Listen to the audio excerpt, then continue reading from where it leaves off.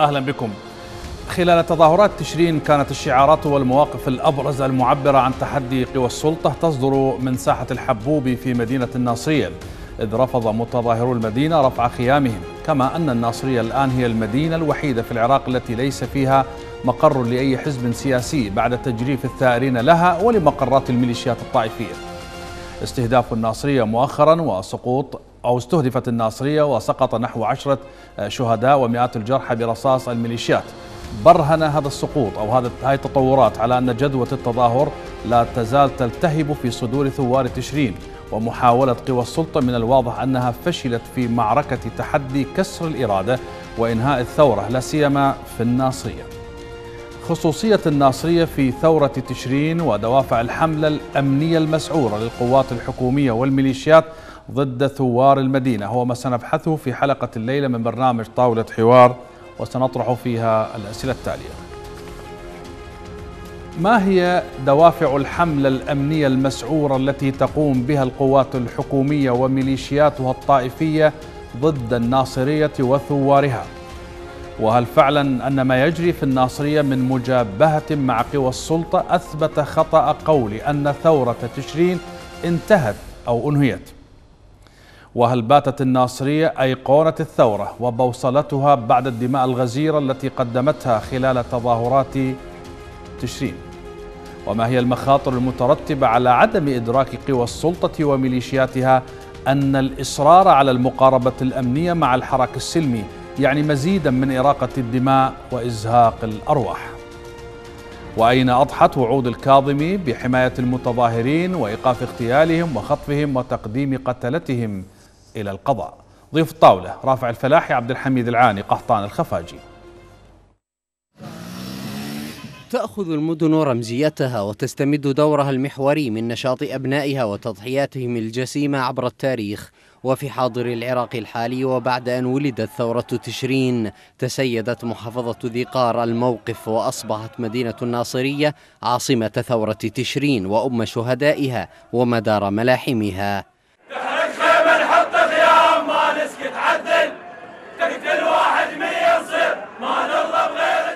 عندما سجلت في عدة أشهر أروع قصص التظاهرات التي تعبر عن الوعي السياسي لأهالي الناصرية ورقيهم الحضاري الثوري وإصرارهم على التغيير.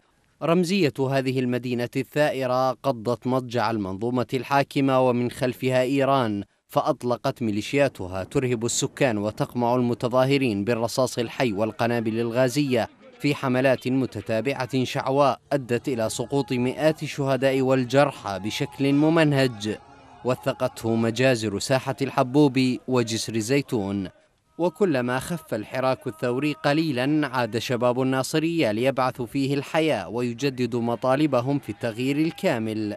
فلم يرضهم تغيير شكلي لمحافظ أو مسؤول مع بقاء مظلة الأحزاب والكتل. النموذج المشرف الذي قدمته الناصرية في ثورة تشرين لم يأتي من فراغ بل إن للعمق التاريخي دورا في تكوين المزاج الشعبي العام. ففي تاريخ العراق الحديث تميزت الناصرية بتنوع انتماءات أبنائها السياسية ودورهم في رسم ملامح العراق الحديث بالتفاعل مع أبناء المحافظات الأخرى. فلذلك حفظ سكان المحافظة تاريخهم واستدعوه بطرق وطنية نبيلة. حيرت حكومات الاحتلال فأفردت لها النصيب الأكبر من الميليشيات والأحزاب لتخمد الحراك الثوري.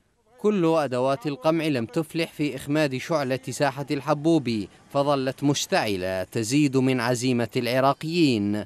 وكما أن في ذي قار انتصف العرب من العجم كذلك في الناصرية ينتصف العراقيون من العملية السياسية الفاسدة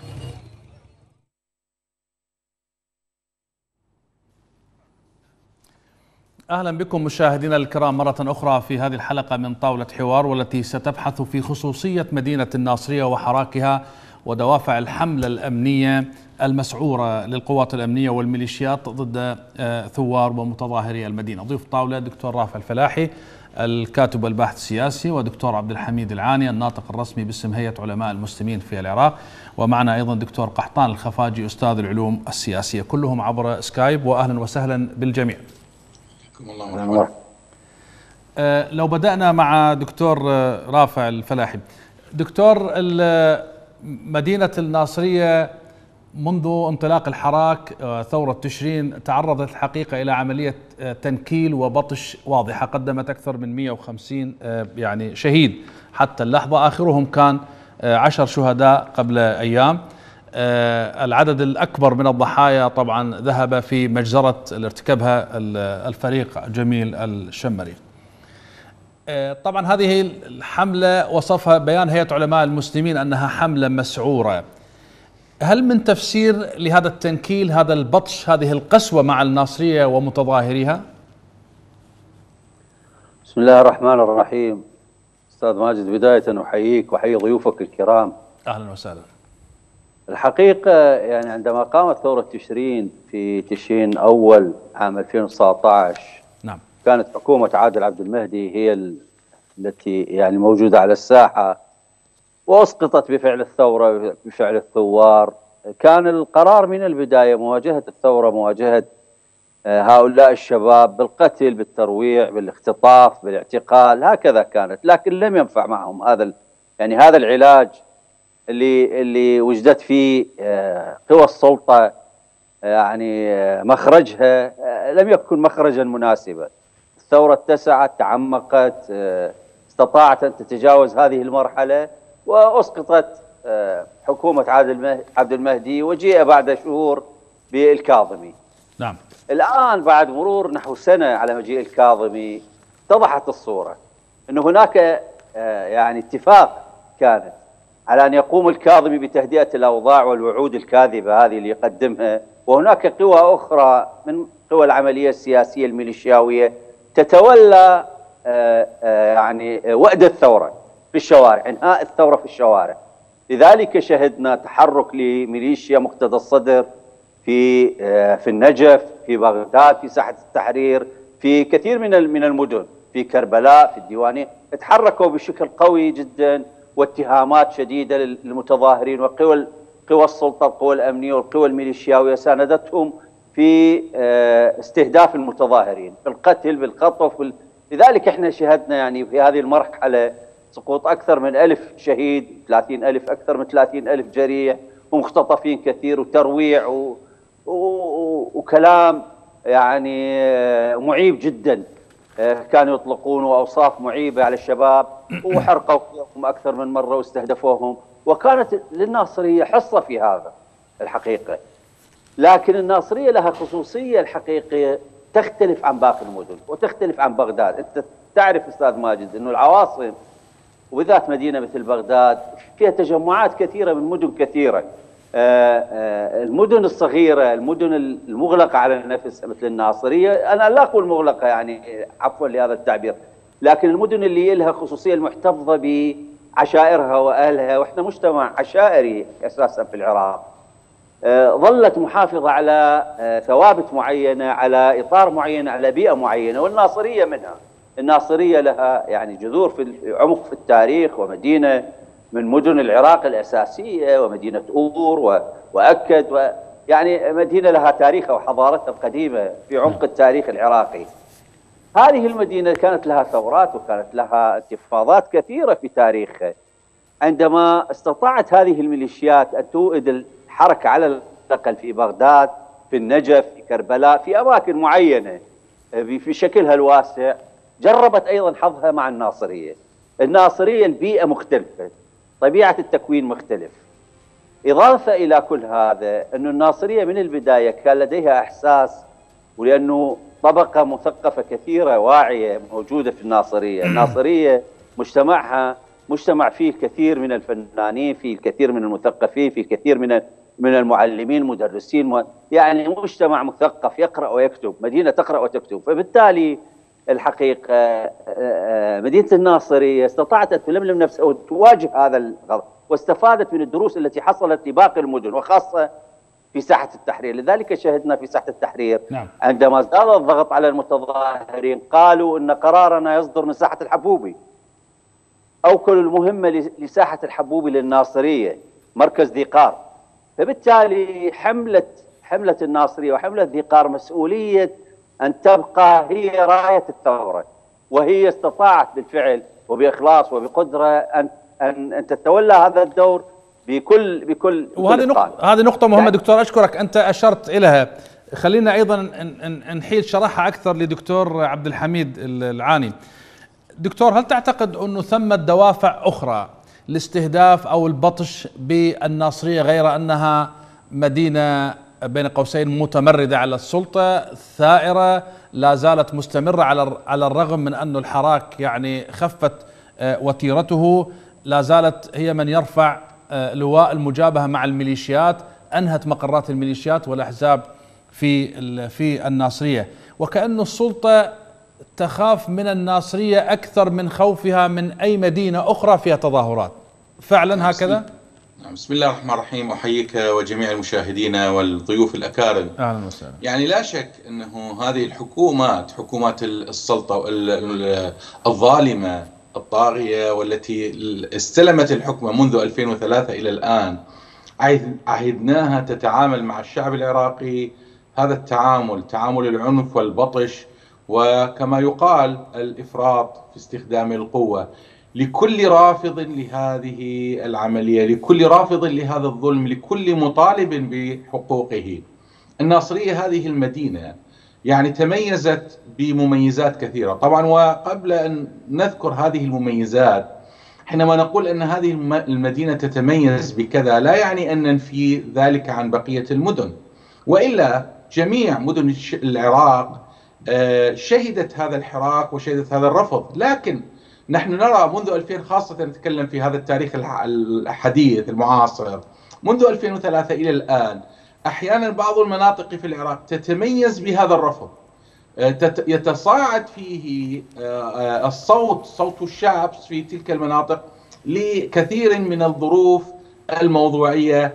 فهذا التصاعد تصعيد الصوت الرافض وعملية الرفض بالأساليب الأخرى تجعل هذه السلطات وهذه القوات الأمنية والأحزاب والميليشيات وغيرها تستخدم مثل هذا الأمر ونتذكر كيف تعاملوا تعامل الاحتلال الأمريكي وما بعده من الحكومات مع مدينة الفلوجة حينما نعم. كان صوتها مرتفعا في المقاومة وفي فترة من الزمن حينما كان النجف أيضا رفعت صوتها. اليوم مدينة الناصرية أيضا، لماذا هذا هذا الإصرار منها مدينة الناصرية طبعا موقفها الرافض للاحتلال والعملية السياسية لا يتعلق فقط في ثورة تشرين هي مستمرة ومتمسكة بهذا الرفض منذ ربما السنة الأولى من الاحتلال. والمظاهرات فيها لم لم تبدأ مع ثورة تشرين وإنما هي كانت قبل ذلك بسنوات كثيرة. هذا كله له آثار الآثار السابقة الجذور جذور الثقافية لهذه المدينة ولشعبها فتتميز كما يتميز الكثير لكن خاصة هنا ربما أبناء هذه المدينة نعم. بإرثهم التاريخي والثقافي الذي جعلهم لا ينخرطون في المشروع المشروع الطائفي لم لم ينخدعوا غالبيتهم لم ينخدعوا بالشعارات الطائفية الشعارات التي تسترت بالدين وضحكت على الناس كان لهذه المدينة بسبب الوعي الثقافي سببا في أن يكون هنالك وعي في الموقف الرافض ورفض صريح الكل الشعب العراقي رافض نعم. لكن فرق بين من يصرح ومن يعبر عن هذا الرفض بالصوت وبالكلمة وبالشعر وبغيرها أو حتى بالمظاهرات والثورة كما رأينا في هذه المدينة وغيرها. نعم. دكتور قحطان الخفاجي مرحبا بك معنا اولا. أهلا وسهلا حبيبي حياك الله حيا الضيوف وحيا المشاهدين الكرام والقناة الكريمة. أهلا وسهلا. دكتور على الرغم من دموية وقسوة الحل الأمني كان يعني كان باطشا وكان هناك تنكيل واضح بالناصرية، الناصرية قدمت أكثر من 150 شهيد من من المتظاهرين طبعا ومئات الجرحى في يومين ارتكب جميل الشمري مجزرة راح ضحيتها يعني 60 إلى 70 وربما أكثر من المتظاهرين. مع ذلك هذا الحل الأمني لحد الآن فشل في إخماد الحراك في الناصرية ولا زالت المجابهة مستعرة. هذا الحل الأمني هو كان عاجزا عن حسم القضية في الناصية وإنهاء الحراك. أم ثمة إصرار غير تقليدي من متظاهرين الناصرية على المضي في المجابهة والمواجهة مع قوى السلطة؟ بدءا أنا كعراقي أحيي ذي قار ورجال ذي قار. نعم. تحية ما بعد التحية تحية بعمق التاريخ وبمعاناة المستقبل وآفاق معاناة الحاضر وآفاق المستقبل. فالناصرية أضحت اليوم هي العراق والعراق إن شاء الله سينهض من خلال الناصرية. آه، هل الحل العسكري ناجع في الناصرية أو سواها أو أي شيء؟ إذا رجعنا إلى العراق منذ 2003 لحد الآن لم يكن ابدا الحل العسكري والأمني ناجع حيال أي قضية مع الفارق الكبير بين موقف الناصرية الآن وأي حالة سابقة. وذلك لأن الترتيب العراقيه حقيقة أساسا هي ليست عسكرية محضة رغم أن جاءت عبر احتلال بقدر ما هي عقائدية أجندات خارجية. وبالتالي الشعب العراقي عموما والناصرية على وجه التحديد أدركت حجم المؤامرة. نعم المؤامرة على العراق. وأدركت طبيعة التعامل الذي يراد أن يكون العراق بجزء من صيغورة خارجية لذلك هذه المجامع المتنفذة على الشأن العراقي رسميا لا تقوى أن تعطي الحقائق وأن تصحح عقائديا وفكريا وسلوكيا ولكنها فقط أن تقدر أن تجسد الحالة العسكرية. لذلك الحالة العسكرية لم تحل القضية نهائيا فما بالنا في قضية تبنتها الشعب تبناها الشعب العراقي وذي وهي إنقاذ وطن. وإنقاذ الوطن لا يكون إلا عبرة تغيير العملية السياسية ومحاسبة الفاسدين وبالتحديد تلك القوى التي تتنفذ وتسيطر على الشأن الرسمي والسياسي والامني العراقي، إذا الخلل كبير وإدراك الحكومة للتعامل مع آه، ثوار العراق وثوار ذي قار غائبة عنهم كيفية الحل الحقيقي. لجوم إلى الحل العسكري لا يحل مشكلة بل يؤكد حقيقة أساسيتين. أولا أن القوة العسكرية تنساق مع الرغبة للبقاء السياسيين على قمة السلطة واحد اثنين القوة العسكرية لا تحاكي ولا تلجم ولا تخفف ولا آه، تلبي طموح الشارع وبالتالي نعم. الشارع باقي على آه، ثوابته وقيمه نعم. والحكومة باقية على آلياتها وهنا آه، وددت ان أذكر بشيء قبل بداية الحديث ولكني نسيته والآن تذكرته ودعني أقوله للناصرية يقال إن قول الرسول صلى الله عليه وسلم يقول وما ذي قار إلا بارقة بعث الإسلام. فذي قار بمعنى عمقها التاريخي وذي قار بموقفها الذي شهده الرسول صلى الله عليه وسلم وقال هنا انكسر أيوان كسرى وانطفأت نار المجوس فثقار امتداد لهذه الحالة وثقار معاناة العراق الحالية وبالتالي لا يلجمها السلاح اللا مشروع ولا وطني ولا مشروعية له أشكرك. دكتور رافع الفلاحي في نفس نقطة المقاربة الأمنية المقاربة الأمنية لأي حراك رافض؟ لما يجري في العراق الحقيقة عمرها أكثر من 18 سنة. الأمريكان تعاملوا مع مع الحل العسكري والأمني والأرض المحروقة مع كل المدن التي شهدت رفضا للاحتلال. كان هناك المقاومة الوطنية العراقية. بعد ذلك مع الحراكات في 2013 ثورة 25 إشباط الاعتصامات نهاية 2012 والتظاهرات الحالية. على الرغم من أنه هذا المقاربة أو الحل الأمني لم يؤدي إلى نتيجة وكانت نتيجته مزيد من الدماء وإزهاق الأرواح ومزيد من الخراب. لكن قوى السلطة لا زالت آه، تعتمد فقط هذا الخيار. لم تستطع أن تطور خيارات أخرى للتعامل مع هذا الرفض هذه المناهضة المزمنة التي عمرها 18 سنة. هل هذه السلطة إلى هذه إلى هذه هذه الدرجة عقيمة في إيجاد آه، خيارات أخرى مسارات أخرى للتعامل مع مع حركة الرفض والمناهضة هذه؟ الحقيقة أستاذ ماجد آه، يعني ندل على شيء هذا يدل على غباء هذه السلطة. نعم. غبية إلى درجة غريبة عجيبة. وكل السلطات الغبية لا تستحق أن تحكم شعبا مثل يعني خاصة مثل الشعب العراقي وتحكم بلدا مثل العراق. دكتور خليني اضيف خليني أضيف نقطة إلى السؤال على الرغم من كل الإمكانيات المادية وغير المادية التي توفرت لهذه القوى السلطة في الداخل والخارج والإقليم وأيضا الدعم الدولي وبإمكانها أن تسكت أو تقنع أو ترضي هذه الحركات الرافضة لكنها فشلت لحد الآن.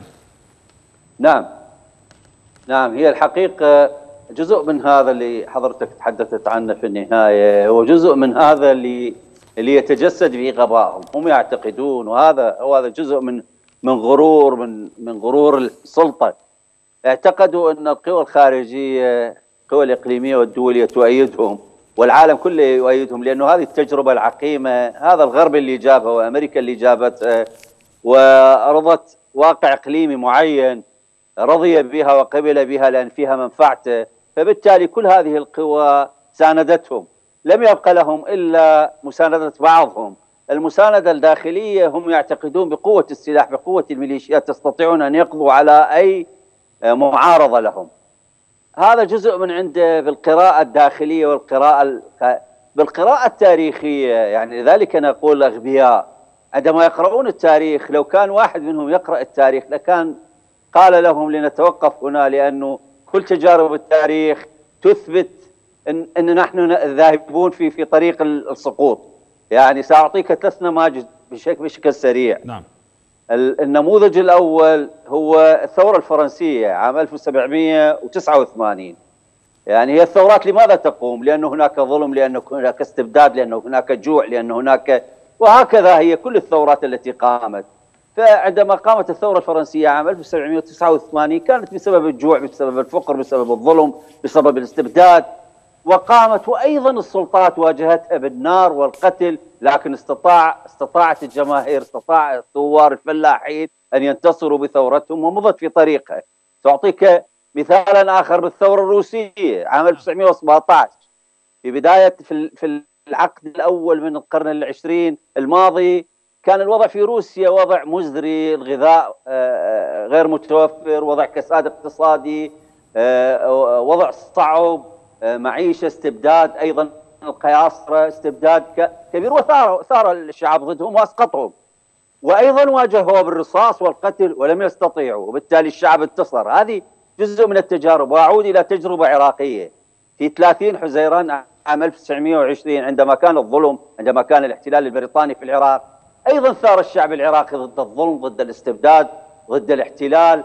وأيضا قدم تضحيات بغض النظر عن ما آلت إليه الثورة يعني فشلت بالقوى العسكرية البريطانية استطاعت أن تفشلها لكن هي حققت نتائج كبيرة وعززت ثقة العراقيين في غد في غد أجمل وهذا نعم. ما ما تحقق نعم. فبالتالي الشعوب هي مصدر الثورات نعم. وهي هي هي التي تمتلك القابليات للعبور بثورات واهدافها إلى شواطئ الأمان هؤلاء في السلطة لم يدركوا هذه القضية. سنتحدث دكتور سنتحدث اسمح لي يدفعهم إلى القوة. نتوقف عند فاصل ونتحدث عن خطورة عدم إدراك السلطة أن ما يجري في العراق له تداعيات ومخاطر على الحاضر والمستقبل.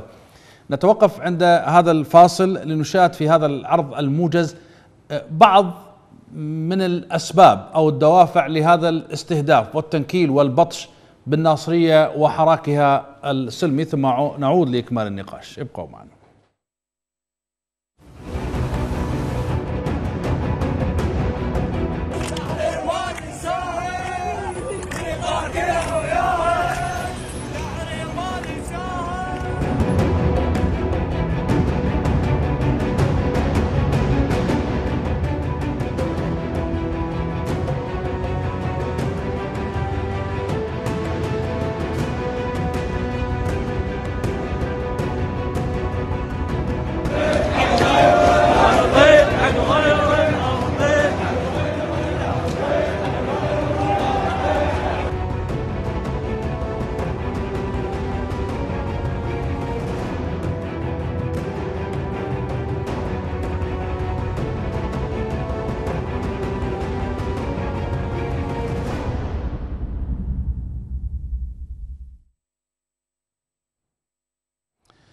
أهلا بكم مشاهدينا الكرام مرة أخرى في هذه الحلقة من طاولة حوار تبحث في خصوصية الناصرية في ثورة تشرين ودوافع الحملة الأمنية المسعوره للقوات الحكومية والميليشيات ضد حراكها وثائريها. ضيوف طاولة الدكتور رافع الفلاحي، دكتور عبد الحميد العاني، دكتور قحطان الخفاجي. دكتور عبد الحميد العاني آه، يقال أن ما يجري في الناصرية من مجابهة مستمرة مع قوى السلطة والميليشيات آه، أثبت وبرهن خطأ الاعتقاد أو القول أن ثورة تشرين انتهت أو أن السلطة نجحت في إنهائها وأن جدوى الثورة ما زالت متقدة حتى الآن. الواقع يعزز مثل هذا التقييم أو القول؟ بالتأكيد وأعداد الضحايا التي سقطت قبل أيام نعم. في هذه المدينة آه، خير دليل على ذلك وهي ليست المرة الأولى التي يسقط مثلها مثل هذه الأعداد. الثورة فكرة ولا نعم. يمكن لهذه الفكرة أن تموت لا بد أن تحقق شيئا وقد أثبت أبناء الناصرية أن الثورة مستمرة نعم. بهذا الأمر لأنه يجب أن نفرق نفرق بين ثورة تقوم على ردة فعل عاطفية لموقف معين وبين رفض شعبي مبني على الوعي مو... ثورة تشرين هذه هي امتداد لثورات سابقة. أشار لها الأساتذة والدكتور رافع أيضا. هذه الثورات ولا سيما ثورة تشرين الحالية المستمرة إلى الآن وأوضح شبابها من خلال شعاراتهم التي يرفعونها من خلال الهتافات ومن خلال ما يصرح به هؤلاء وأسر الضحايا تدلل بشكل واضح أن هذه ثورة وعي ثورة رفض. وهذا الرفض لا بد أن ننظر إلى الأسباب. هذه الأسباب التي دعت هؤلاء الثائرين المتظاهرين في هذه المدينة وفي غيرها للخروج لا تزال مستمرة بل متصاعدة. نعم. هؤلاء خرجوا ضد الفساد والفساد مستمر متزايد متصاعد. خرجوا ضد ضد الظلم. والمجابهة والعنف والقتلى والجرحى كله يعزز أن هذه الطبقة هذه العملية السياسية وطبقتها والأحزاب والميليشيات من ورائها هي يجب أنه تزول. إذا الشعب أمامه خيار. إما أن يرضخ لهذه لهذا الظالم ويكون معنى ذلك أنه مزيد من الظلم والتنازل عن حقوقه. أو استمراره حتى تتحقق له هذه الحقوق التي يطالبها. أما السلطة فهي إما أن تستمر في غبائها كما وصفه الدكتور رافع قبل قليل وتمضي في هذا وسيكون الخاسر هو هي هي ستكون الخاسرة. أو أنها تراجع أو تستمع للناصحين فيكون هنالك المعالجة. والمعالجة لا نعني بها إصلاحات ترقيعية أو خداعات كما أريد بمجيء الكاظم ومحاولتهم خداع الشعب وظنهم أنهم سيستطيعون تخديره بمثل هذه الخطوة. فهذه الحلول الترقيعية لا يمكن أن أن تأتي على هذه الثورة أو تجعل هؤلاء الثوار والمتظاهرين أن يعودوا إلى بيوتهم. فنسأل الله تعالى أن يثبت هؤلاء حتى تتحقق الحقوق ويزول هذا الظلم عن جميع أبناء الشعب العراقي لأن الظلم قد طال كل العراقيين بل طال مستقبل العراق كما أشار إلى ذلك الأساتذة. نعم. دكتور قحطان الآن التظاهرات والحراك في العراق آه، بات ينتظر ما يصدر من حراك الناصرية ليؤسس أو يبني عليه مواقفه ينتظر ماذا تقول الناصرية؟ ماذا يقول الحراك هناك؟ حتى الرأي العام آه، بات وكأن الناصري ينظر إليها على أنه عاصمة الثورة عاصمة ثورة تشرين. هل تعتقد أن الناصرية فعلا تحولت إلى إيقونة لهذه الثورة وقبلة أو بوصلة؟ بوصلة نظرا لما قدمته من ثمن كبير الناصرية يعني مئات الشهداء مئات الجرحى والمخطوفين وما زالت آلة القتل آه، آلة القتل الميليشياوية لا زالت آه، شغالة في الناصرية. عاصمة الثورة الآن الناصرية؟ قناة الثورة عراق الثورة كل الصفات تستحق الناصرية وأكثر نعم. ولكن الحقيقة هو أيضا كل المحافظات تنظر إلى آه، الناصرية. نعم. وهذا حقيقة الأمر رغم كونه إيجابي ولكن أنا أقول آه أنه فيه من لا إيجابية. كيف؟ على على على المحافظات أن تتحرك كما تتحرك الناصرية. الناصرية نعم لها ميزات تستحق أن تتميز ولكن لابد على المحافظات الباقيه دكتور بعد المجزرة اسمح لي بعد المجزرة الأخيرة الحقيقة كانت هناك تظاهرات في القادسية وتظاهرات في واسط وتظاهرات في نعم أيضا نعم مدن أخرى. نعم, نعم. وفي بغداد. وأؤيد وأبارك فيها ولكن نتمنى أن ديمومة هذه الحالة واستمرارها نعم. لأن ليس آه، من المنطق بالمرة أن نترك تترك الحمل على محافظة وهي تستحق أن تتقدم وأن تتسيد المشهد. بواقع حالها. ولكن المعاناة واحدة. ابن الناصرية يعاني كما يعاني بالمحافظات الأخرى. والظلم واقع عراقي دون استثناء من زاخو إلى حد الفاو. وبالتالي نتمنى نرجو أن من المحافظات الباقية أن تحذو بحذو آه، محافظه ذقار ومع هذا وذاك نؤكد أن طبعا الجذوة باقية جذوة الأمل كبيرة جدا والثورة باقية كبيرة جدا. والمحافظات أتوقع بابل كربلاء آه، السماوه ستشهد تصعيدا قريبا واسعا نضاف إلى التصعيدات التي نشهدها الآن مسانده إلى آه، ذقار أو استمرار لروح الثورة في العراق كله بإذن الله. نعم.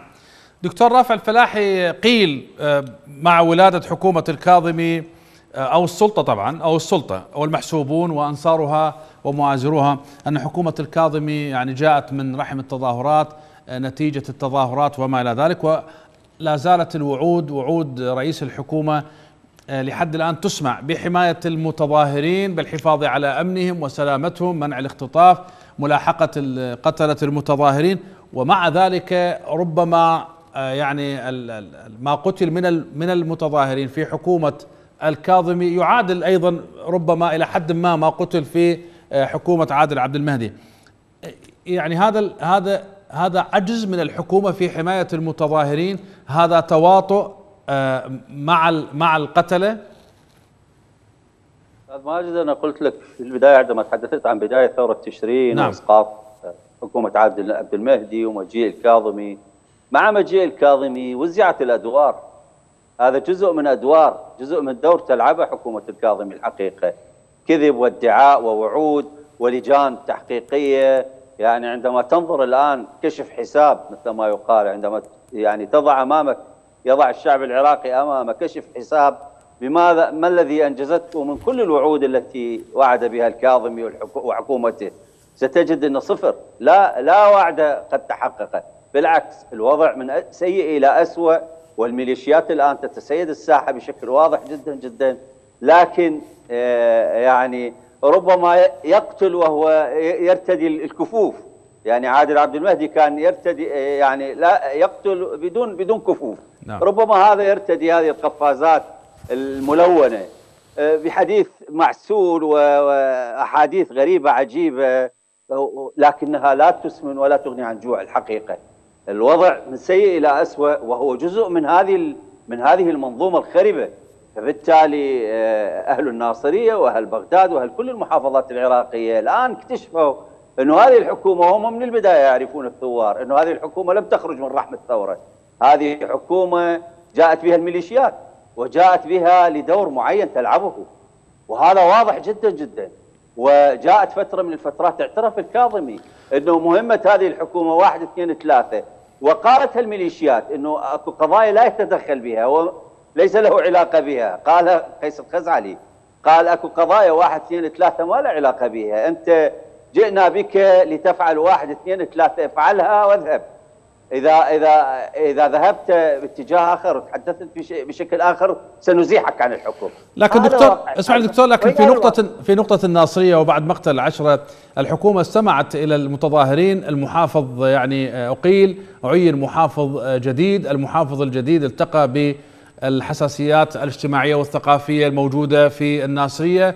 واستمع لهم وكان منفتحا يعني عليهم. يعني ما الذي يمكن أن تقدمه الحكومة في هذا الظرف العصيب أكثر من من هذا الذي قدمته؟ للناصرية تحديدا تحدث.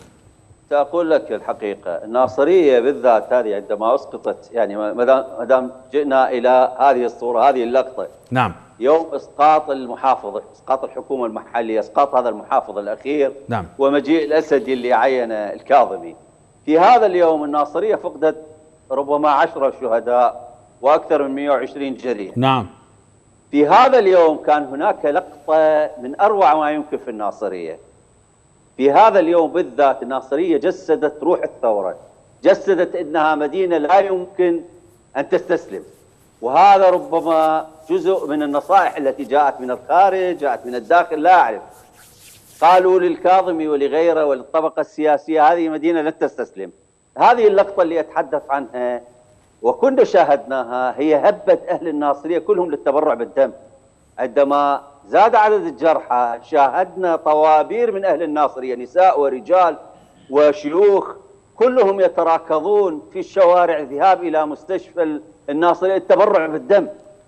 هذه لا تحدث في مدن لا لا تت لا تتبنى الثورة، هذه معناها أنه هذه المدينة تتبنى الثورة، انه الشعب الناصرية يتبنى شبابه، يتبنى الثورة، لذلك أنت لا تواجه 30 و50 و100 و10000 و20000 و100000 متظاهر في الشارع، أنت تواجه مدينة كاملة. مدينة بكل بكل بكل معالمها، بكل ناسها، بكل بكل قدراتها، بكل عشائرها. هذه فقدوها. هذه استطاعوا أن يفهموا هذه القضية بنصيحة من الخارج بنصيحة من الداخل لا أعرف. لذلك حاولوا أن يقدموا شيئا بوعود كاذبة. يعني هم مجبرين على أن يقدموا هذا. هذا ليس إحسانا منهم. يعني عندما قدموا أنت تقول لي ماذا يستطيعون أن يقدموا؟ هم كانوا يستطيعون أن يقدموا كل شيء للشعب العراقي.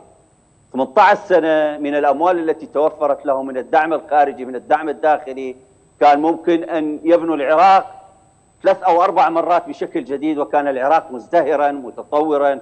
هم زادوا بالأمية زادوا بالفقر زادوا بالخراب زادوا بالمرض لم يبنوا مستشفى واحدة لم يبنوا مدرسة واحدة نعم. البطالة في أعلى في أعلى درجاتها الفقر في أعلى درجاته العشوائيات في أعلى درجاتها فبالتالي الناس وصلوا إلى قناعة هي لماذا تقوم الثورة واضح. عندما يصل الناس إلى قناعة أن ليس لهم مكان في هذا في هذا الوطن فيثورون لتغيير النظام لكي يجدوا مكانهم الحقيقي في هذا الوطن ومدينة الناصرية فهمت هذه وأرادت أن تفهم الآخرين هذه المعادلة السهلة. أشكرك. أنه ليس للعراقيين مكان في ظل هذه السلطة يجب إزالة هذه السلطة لذلك يطالبون نريد وطن. نعم. دكتور عبد الحميد العاني يعني هذه المقاربة الأمنية الدموية المستمرة من 18 آه، يعني آه، سنة التي أودت بحياة مئات الآلاف بل الملايين آه، من من المدنيين. قوى السلطة يبدو ليس عندها خيار آخر. عدم إدراكها لخطورة هذه المقاربة الأمنية الدموية آه، في العراق آه، وطبعا الثمن مزيد من الدماء والأرواح. ما هي المخاطر المترتبة عليها؟ يعني السلطة الآن بهذا الخيار كمن آه، كمن يسقط الجدار على كل من يجلس تحته. هكذا هكذا يبدو الحال في العراق. يعني القانون الفيزيائي معروف كل فعل له ردة فعل. ومثل ما أشار الأساتذة أيضا من خلال الثورات السابقة التجارب السابقة هي ليست تجربة تجارب سواء في العراق أو في غير العراق. أثبتت أن هذا. هذا الاستخدام أو هذه هذا الأسلوب أسلوب العنف هو لا ينجح ربما يؤجل ربما يهدئ من الصوت لكن الثورة فكرة والفكرة لا يمكن أن تموت. سيستمر هذا الصراع وهم يدركون ذلك. يدركون أن مزيدا من الدماء هي تغذية لهذه الثورة لأنها إذا كان هنالك متظاهر واحد الآن يرفع صوته وسقوط هذا المتظاهر شهيدا أو جريحا فمعناها أنك تؤلب عائلته وأسرته وأصدقائه. وهذا ما يحصل فتتزايد هنا أعداد الثائرين. وإن قلت ربما في في بعض الأحيان لكنها هذه كلها تغذية للثورة. هؤلاء يدركون ذلك لكنهم يصرون على الخط أو أسلوب الحل الأمني والعنف لأن هنالك أوامر خارجية. هم أدوات. هم أدوات لا يتحركون بأنفسهم فقط أو من أنفسهم وإنما هم أدوات ينفذون ويحرقون أنفسهم ويحرقون البلاد تلبية لأوامر خارجية. وهم ربما تعطيهم ال ال الأوامر الخارجية تعطيهم ضوءا أخضر للاستمرار في هذا العنف وأيضا تعطيهم طمأنات نوع من الطمأنة لأنه حمايتهم وحماية أمنهم وعدم المساس بهم. لكن الخطر إذا استمر فإن هذه النار هي ستحرق الجميع. نحن لا نتمنى طبعا لا نتمنى سقوط الشهداء آخرين أو دماء أخرى من أبناء شعبنا العراقي. نحن نتمنى الحل اليوم قبل الغد ونأمل كما يأمل جميع أبناء شعبنا العراقي بعودة الرفاه والطمأنينة. أولا الطمأنينة والأمان والرفاه والرخاء. وهذه الثروات بلدنا من أغنى البلاد من أغنى البلاد العالم بلدنا. فقط نحتاج إلى عقل وطني نعم. سلطة وطنية حكومة وطنية تقوم بتأمين بتوزيع هذه الثروة وتوزيعها توزيعها عادلا وسياسة البلاد سياسة عادلة بإعطاء بإعطاء كل ذي حق حقه وأملنا كبير أنه سيتحقق ذلك نعم. وسيزول سيزول هؤلاء الظالمون الذين تسلطوا على رقاب أبناء الشعب العراقي نعم. إن شاء الله تعالى دكتور قحطان الخفاجي في نقطة يعني فشل الحكومة والكاظمي في حماية المتظاهرين وهو وهي تعهدات يعني قطعها على نفسه في بداية تسنم منصبه ويكررها طبعا يعني في كل مناسبة أنه أن حكومته ستحمي المتظاهرين لكن القتل لا زال مستمرا وسفك الدماء وما جرى في الناصرية قبل يعني يعني أيام من قتل واستشهاد عشرة من المتظاهرين. هناك من يذهب إلى أن الكاظمي متواطئ في عملية القتل وهناك الحقيقة من يرفض هذا التواطؤ ويعني يعتقد إنه ليس من الإنصاف والموضوعية اتهام الرجل بالتواطؤ، قد يكون ضعيفا لا سلطة له على هذه الميليشيات ذات السطوه الكبيرة والمتغولة. يعني هل الرجل متواطئ أو أنه ضعيف أمام سطوة الميليشيات ولا طاقة له على مواجهتها؟ آه عزيزي آه لاحظ حتى عملية يعني استخدام أو استخدام وصف لوضع العراق بشكل عام ووضع الكاظمي يصعب على أي شخص علمي أن يضع وصف لهذا الشيء لأنه خارج المنطق بالمرة. لذلك هو ضعيف هو هو هو متآمر هو مقصر هو متعمد كل الصفات تصح. بدءا من أنه ادعى أنه نتيجة لثورة تشرين هذا ادعاء باطل من الأساس. نعم. ادعى جاء لكي يحمي المتظاهرين. نحن نعرف تماما أن بالإضافة إلى ما يسمى بالطرف الثالث أن جهات رسميه هي التي التي أسقطت التي هي أطلقت النار الحي على المتظاهرين. طيب هذه الجهات الرسمية التابعة للداخلية وللدفاع والقادر على المقاومه المسلحة. أين هو من هذا القرار أو من هذا الفعل؟ إذا كان يصعب عليه أن يتابع الطرف الثالث أو الفصائل التي تستهدف المتظاهرين في بيوتهم هنا وهناك بلثام وبمسميات مختلفة. طيب أين هو من الإجراءات الرسمية التي يقوم بها؟ التي يقوم بها الجهات الرسمية الأمنية. طيب إذا كان كان هو دكتور اسمح لي هل تم توجيه التهمة رسميا قانونيا وقضائيا إلى أطراف أو مؤسسات حكومية رسمية في الدولة أنهم هم من قتلوا المتظاهرين. لا زال كلام اتهامات سياسية وإعلامية أكثر من كونه قانوني رسمي. الجهة المسؤولة عن الضحايا سقطت تبقى هي الحكومة. نعم. سواء تم الشكوى عليها من لماذا؟ لأن هي التي مسؤولة عن أمن المواطن. واحد. اثنين المتظاهر كما تدعي الحكومة خرج يطالب بحقه وهي تسنده. والمقاتل الرسمي العراقي في ساحة المتظاهرين. طيب السلاح الذي يملكه المقاتل الرسمي لم يوجه إلى من استهدف المتظاهرين. الشيء الآخر الدخانيات والأسلحة استخدمت نعم. بصورة واضحة. الشيء الآخر الشهود العيان في ساحات المتظاهرين هم قالوا رصاصتان أحيانا من بندقية واحدة في في مقتل للمتظاهر. كل هذا حقائق موجودة. الشيء الذي يمكن أن نقوله من يستمع ومن يقوى على أن يقدم شكوى إلى الجهات الرسمية في حكومة العراق؟